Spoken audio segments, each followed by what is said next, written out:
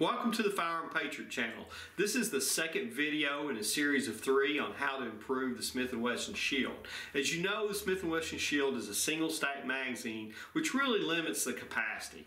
In the base magazine, we're looking at seven rounds with one in the chamber for a total of eight. They also come with an extended magazine that's an eight round magazine, so with one in the chamber, we're looking at a total of nine.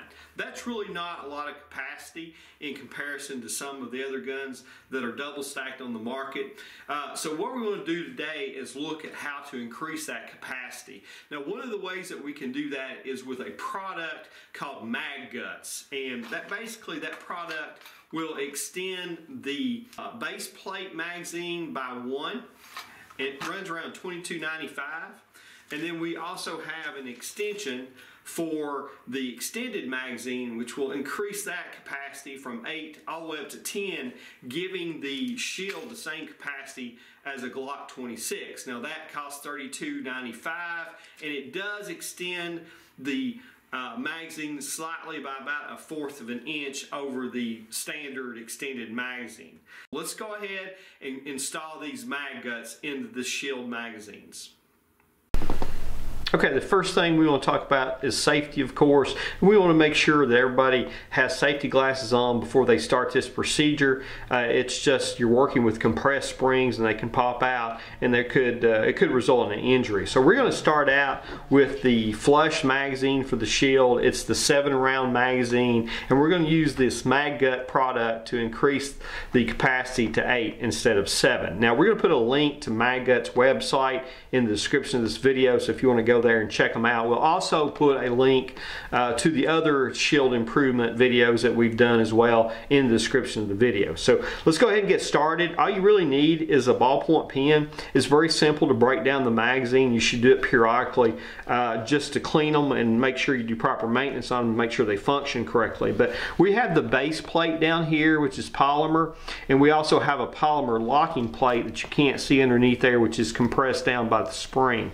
Now this is a extension on the lock plate that comes out and goes into the base plate that holds everything in place. So all we're going to do is we're going to uh, push down on that and then we're going to move this base plate forward. So let's go ahead and do that.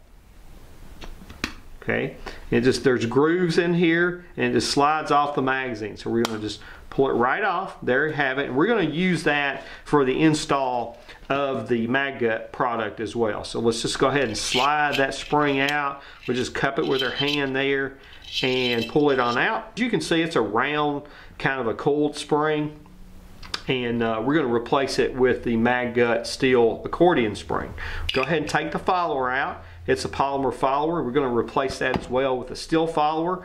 The lock plate too is going to be replaced with a metal lock plate. So I think they are upgrades. I've used this product before and it's worked well for me. So we're going to go ahead and move this uh, items that we're not going to use to the side and pull out the products that we get here with the MagGuts. And so here's a steel accordion flat spring and that's basically how you're going to get another round into that magazine without increasing uh, the size of the magazine along with the shape of the follower. Now we do have a uh, follower here as you can see it's cut out right there the middle part that's going to come up catch the slide stop and lock the slide back. So what we're going to do is we're going to take the magazine this is the bottom of the magazine and the follower portion that's going to lock the slide back is always going to go toward the tapered end. So we're going to slide in there just like that. Now the spring, the tip of the spring is going to go to the back of the follower. You're just going to push that up there. You can see how it fits. There's compression there. Now we're going to take the steel lock plate and as you can see it has a little lip on it and that lip's got to go behind the magazine right here, the base of the magazine. So we're going to go ahead and push that accordion spring in there. Okay, we're going to push that down. Make sure you can kind of see how that lip's going to go back there on that. We're going to take this stock base plate. Again, we're under pressure here with a little bit of spring. We're just going to slide it back exactly the way it came off. Push it down. You hear it lock in place. It locked in place and that's all there is to it. Now the magazine's assembled, so let's go ahead and make sure we can get eight rounds in it. I don't have enough dummy rounds, so we're gonna do this with live rounds, but we don't have the gun here on the table. So let's do it real quick. One, two, three, four, five, six, seven, and we got to get the one more round in there for the extension. Eight. And there you have it. Now you have a eight round magazine that fits into the shield instead of a uh, seven round magazine. So let's go ahead and install the mag guts into the extended magazine now. Okay, we're going to do the exact same process with the extended mag. We are going to take this sleeve off just to make it a little bit easier. Set that to the side uh, and remove the base plate just like we did. We're going to again compress the lock plate uh, tab there and push that push that base plate forward. Slide that off. Again, we've got the spring cupped in our hand. We're pulling that out. We're going to drop that polymer polymer. We're not going to use that anymore. We're not going to use the base plate. We're not going to use the spring. And in this particular application, we're not going to use uh, the base plate. So we're going to put those over to the side. And we're going to pull out what comes in the mag guts. Again, this is the plus two extension or conversion as they call it. What you get here is again you get another metal follower very similar to the one you saw. You get an accordion flat spring. Again that helps get the extension and the uh, rounds in there. Uh, addition to what comes stock and you're going to get again a locking plate that is metal and in this particular case, you're going to get a new base plate. Now this base plate is going to be a little bit longer than the stock extended base plate. Uh, maybe it's about a fourth of an inch. I think I measured it. Uh, the stock is 4.79 inches uh, as far as the grip goes with the uh, Magguts extensions inserted in there, it's 5.04. So about a quarter of an inch you're looking at extension wise. So let's go ahead Again, the portion where the follower comes up, catches the slides, always going to go forward to the tapered end. Again, the spring is going to go to the back. We're just going to slide that up there, get that in place. You can see that. Now, in this particular case, again, we're going to have the same deal with the lock plate. It is going to fit on the back. This portion is going to come right there and fit like that over top of it because it's going to be centered up.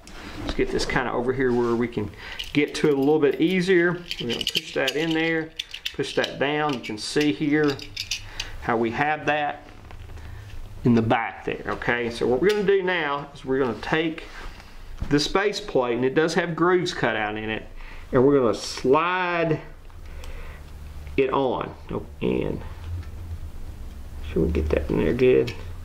Okay, now you got to let, as you're doing it, you kind of let the lock plate come up to the bottom here, okay? You can kind of see it coming up, I think, there, hopefully. And just keep sliding it back. And as you slide it back, it's going to fit right in the hole right there.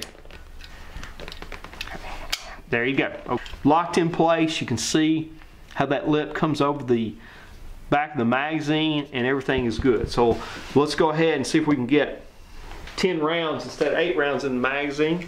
Again, we're going to use live rounds. Don't have enough dummy rounds to do this, so let's go ahead and do it.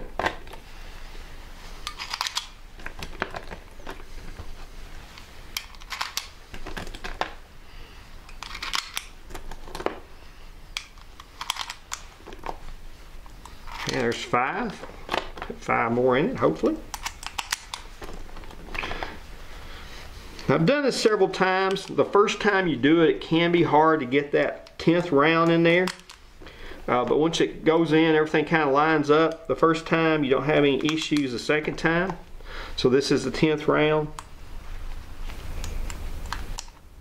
Sometimes I actually use a, uh, a loading tool to put that first round, that 10th round in there.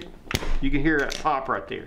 Okay, and we got 10 rounds in there. Now what we're gonna do now is we're gonna go out to the range and make sure they function properly. You should never just put something together, put in your gun, and, and carry it. You need to make sure it functions properly, and that's what we're going to do. So let's go on out to the range. Okay guys, we're here on the range with the shield. We're going to test the uh, mag gut inserts in the magazines for the shield. Going to go ahead and do the flush magazine first. Uh, again, stock, it's uh, seven rounds. With the mag guts, it's eight. Then we're going to just go ahead and turn around and do the extended mag. It's stock eight, but with the mag guts in, it's 10 rounds you get. So what we're going to be looking for is make sure it feeds properly and also that locks the slide back on the last round. Uh, again, there's nothing in the chamber here. We got the slide lock back so you can hear the rounds to let you know that there are eight rounds in the magazine and then 10 rounds in the extended magazine. So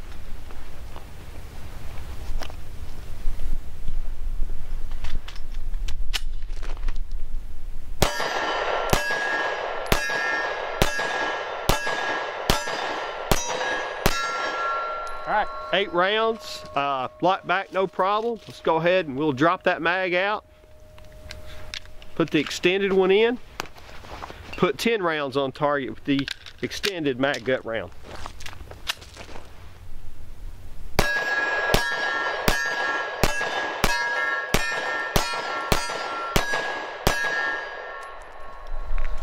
There you have it, uh, 10 rounds out of the extended version. So certainly reliable product and if you're looking to increase the round count of your carry pistol the mag guts is a good way to do that I think. And so check the link to the website out in the description of the video. And with that being said this is the Firearm Patriot. Till next time God bless America